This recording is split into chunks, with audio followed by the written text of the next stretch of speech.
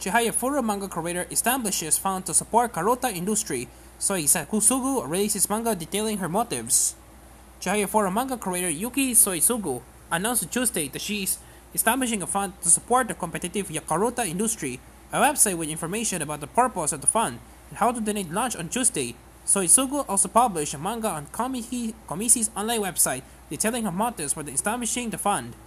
In the manga, Suetsugu reflects on how the story Chihayafuru is coming to an end.